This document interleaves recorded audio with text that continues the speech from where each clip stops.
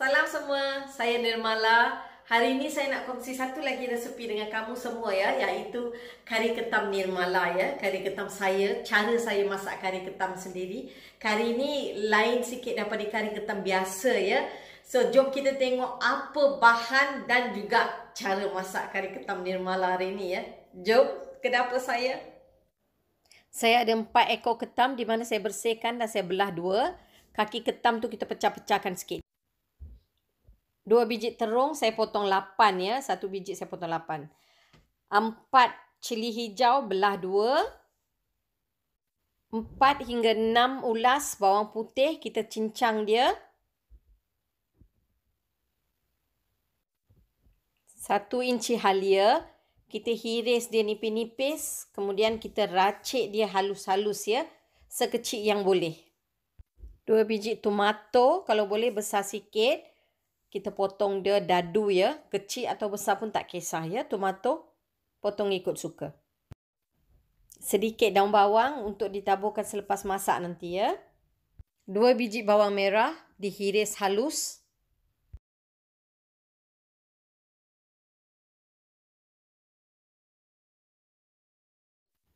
Minyak yang panas dimasukkan satu sudu teh biji sawi, satu sudu teh jintan manis, satu sudu teh halba, sedikit daun kari. Kemudian masukkan bawang merah dengan cili hijau ya. Kita tumis sekejap sampai dia layu sikit. Cili hijau dengan bawang merah kita tu layu dan lembut sedikit. Dan nampak layu ya. Sekarang kita nak masukkan kunyit ya. Serbuk kunyit satu sudut teh. Sedikit garam. Ikut rasa ya garam ketam yang dah kita bersihkan tadi tu, kita rendamkan dalam air dengan sedikit garam. Selalunya ketam makanan laut memang saya selalu rendamkan dalam air dengan sedikit garam ya. Sementara kita tumis bahan-bahan kita tu. Kemudian air tu kita akan buang sebelum kita masak nanti ya. Sekarang kita masukkan bawang putih dengan halia yang kita racik tadi tu ya. Tumis sampai naik wangi dia. Sekarang saya masukkan terung yang kita dah potong tadi tu ya. Kita akan tumis terung ni sampai betul-betul separuh masak. Kita masukkan pula tomato kita ya. Masukkan tomato dan kacau dan biarkan sampai terung tu betul-betul lembut ya. Ketam tu saya nak buang air dia ya sebab saya nak masukkan ke dalam lauk kita sekarang ya. Nampak tu terung kita dah betul-betul lembut ya. Dah lembut. Masukkan dua sudu besar serbuk kari ikan dengan dua sudu besar serbuk cili ya. Kacaukan dia dalam lima minit macam gitu supaya rempah kita sebati dengan bawang-bawang kita tadi dan naik bau wangi rempah tu nanti ya. Rempah yang kita kacau tadi tu dah wangi sekarang ya dan naik bau ya. Saya nak masukkan ketam yang kita dah tapis tadi tu. Kita rendam dia dalam air garam supaya tak ada bau hanyir ketam tu nanti ya. Bila kita masak makanan laut, elok lepas kita bersihkan tak kira udang ke ikan ke, rendamkan dalam air bergaram sekejap sementara kita menumis bahan kita tu.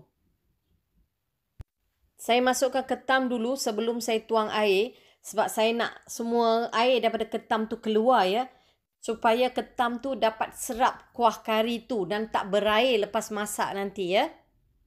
Baru kita masukkan air ya. Satu setengah cawan air.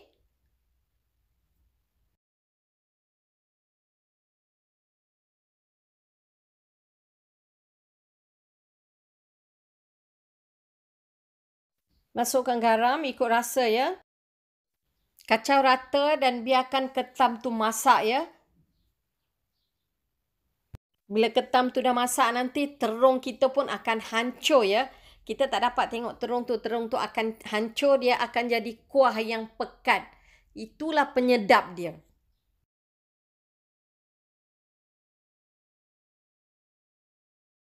Sekarang kita masukkan setengah cawan santan pekat ya. Kemudian kita kacau dia balik. Dan biarkan dalam 5 hingga 8 minit sahaja bila masukkan santan pekat ya. Jangan lama nanti santan tu akan jadi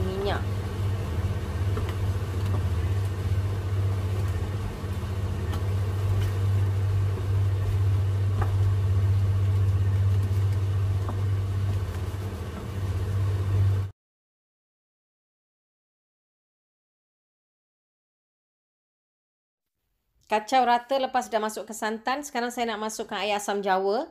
Satu sudu besar asam jawa ya. Besar ni saja. Saya kacaukan dia dengan setengah cawan air.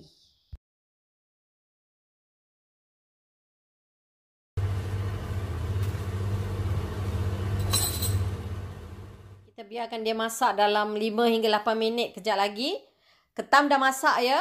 Kita sebab air asam jawa tadi tu kita didihkan dia sekejap sahaja, 5 hingga 8 minit sahaja. Saya dah lapar ni tak tahan lagi dah. Sekarang kita masukkan daun bawang ya, paling last sekali daun bawang. Masukkan dia, kemudian kita tutup api dan kita kacau sekejap saja ya. Itu saja. Dah masak pun kari ketam nirmala. Selamat mencoba. Saya harap semua akan mencuba resepi ni hari ini juga kalau boleh. Memang sedap ya. Terima kasih banyak-banyak untuk bersama saya waktu saya masak tadi ya. Selamat mencuba dan jumpa lagi.